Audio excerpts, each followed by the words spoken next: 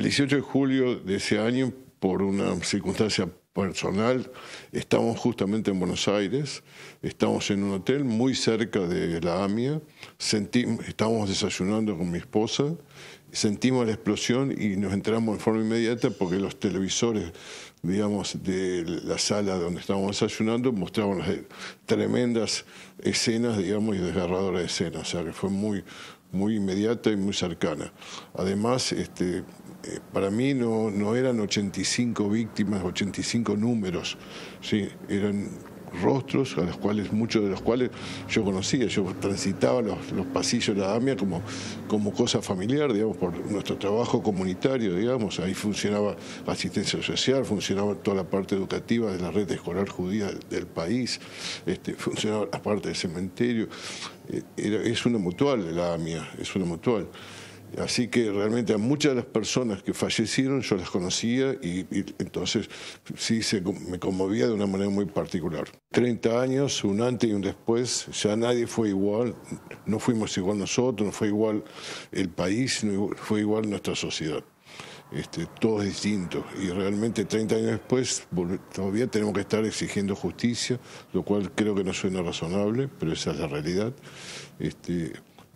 y bueno, no cejando en, el pedido, hay siete imputados, siete, siete alertas rojas a nivel internacional por la Interpol, pero condenados y presos ninguno. En el acto conmemorativo que tuvo lugar en el Palacio de Calle Salta, Juan Pablo Poletti recordó que la ciudad de Santa Fe fue una de las primeras en movilizarse hace 30 años luego del atentado. En aquella oportunidad participaron unas 5.000 personas acontecimiento que será recordado el próximo lunes con el descubrimiento de una baldosa de la memoria. Casi 5.000 personas participaron del primer acto de repudio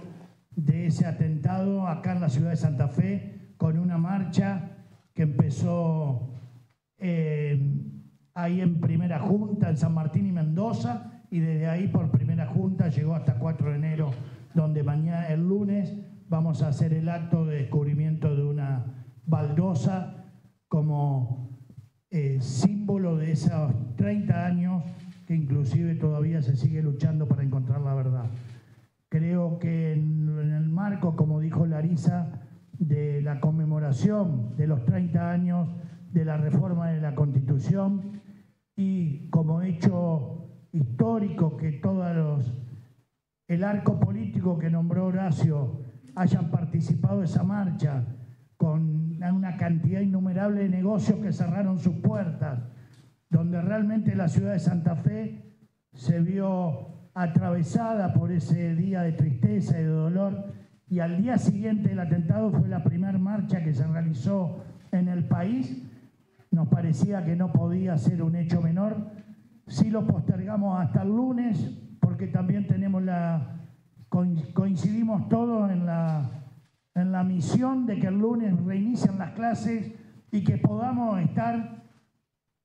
diciéndole a los chicos lo que pasó hace 30 años, que conozcan la historia para que esto nunca más se vuelva a repetir. Larisa Carrera por la UNL aportó su reflexión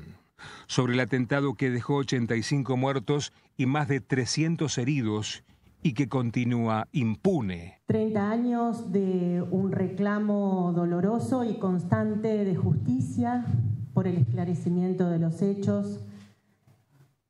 de un atentado eh, al pueblo argentino en completo, al pueblo argentino en su totalidad, que nos dejó en una situación de vulnerabilidad